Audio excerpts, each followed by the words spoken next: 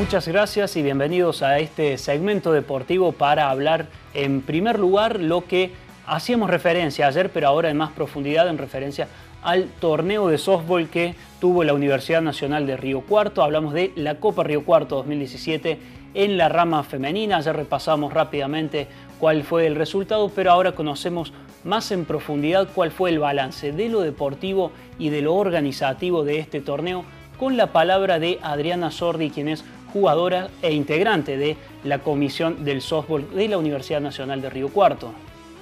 Se desarrolló dentro de todo, con todas las expectativas que teníamos, bueno, en horarios, en, en, orden.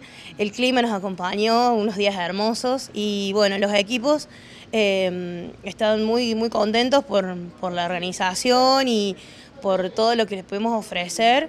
Eh, la verdad que nos han dado muy buenas referencias post torneo, eh, más allá de los resultados deportivos. Eh, y bueno, en eso estamos, estamos todos incluidos los, los, que, los que estamos en softball porque bueno, trabajaron todos, desde los más chiquitos hasta los más grandes. Eh, bueno, los varones haciendo planillaje estadísticas, que fueron también son jugadores. Eh, también trabajando en la cantina, ayudando con, todo el tema de las pelotas, la organización y bueno, también uno de nuestros árbitros de Río Cuarto, que pertenece a la Asociación Argentina de Árbitros de Béisbol y Softball, eh, bueno, él se encargó de toda la logística del arbitraje y también salió todo perfecto. El nivel en general muy bueno, muy bueno, todos los equipos eh, vinieron eh, preparados para la ocasión, eh, con algunos con refuerzos eh, que se les permitió para, bueno, para subir el nivel. La final fue de un nivel espectacular, las todos mirando y, viendo buen, buen softball.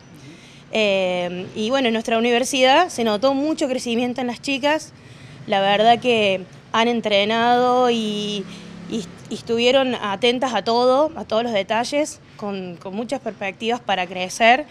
Así que, bueno, nosotras quedamos en el quinto lugar, pero bueno, ya te digo, dando batalla y se notó un crecimiento enorme en todas. En el turno de los varones, eh, para el fin de semana largo de noviembre, también vamos a desarrollar un, torneo con ocho equipos, de los cuales ya hay muchos interesados.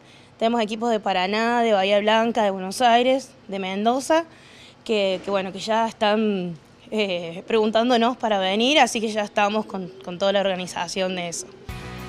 Adriano Sordi trazando un balance de esta Copa Río Cuarto 2017 y adelantando lo que va a ser en noviembre la Copa en la rama masculina de softball.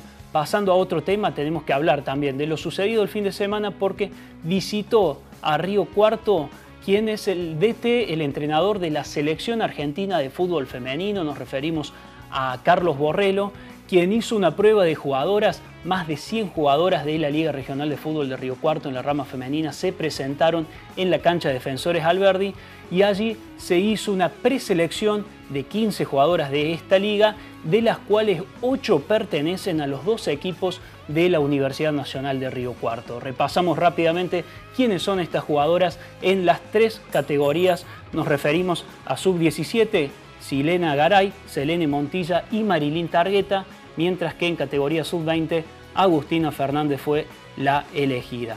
En categoría mayor quedaron en esta preselección Melania Verón, Dianela Aguirre, Carolina Pasquini y Valentina Lema. Vale mencionar que estas pruebas se van a realizar en diferentes puntos del país y luego habrá una nueva preselección, un nuevo corte para ya empezar los entrenamientos en septiembre en el predio de la AFA en Ezeiza, así que felicitaciones a todas las jugadoras preseleccionadas. Y por último mencionar que mañana habrá actividad en lo que es el básquet femenino y también el viernes en lo que es futsal, pero mañana estaremos con más detalles sobre estas actividades. Esto ha sido todo por ahora, muchas gracias.